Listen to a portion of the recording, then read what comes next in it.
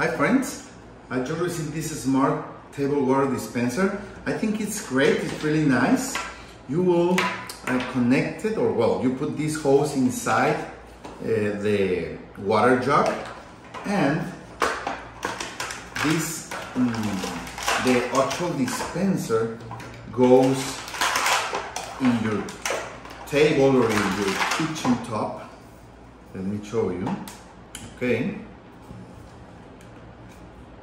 and you connect the hose. This part goes inside the water jug. These tips uh, are aimed so they it won't uh, it, it will have access to water always and this one goes in the back here okay it looks really nice in your kitchen top it's a rechargeable one so you can use this USB-C cable to charge it here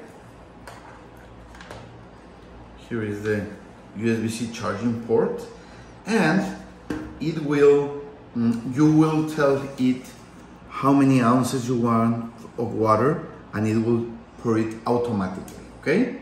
So we are going to charge it and try it, perfect. Okay, let me show you how we're going to use this water dispenser. As you can see, we put this part of the hose inside of the water jug okay. And the dispenser here. So people who are going to use it won't see all the water jug and everything. You just have to put how many ounces you want of water? 8 12 16 20 30 or 4 let's try 8 and you just put your, your glass here and Ready.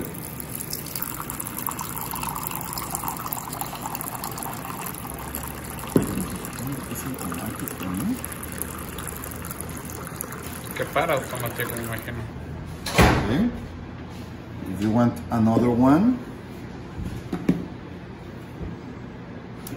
you just hit it like that, okay? And that's it.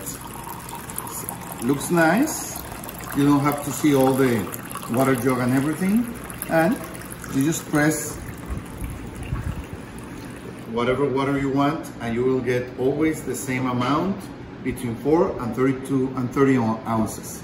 So I really recommend this for your office, your home, a nice place where you want to have some water but not the mess of the water jug. Perfect.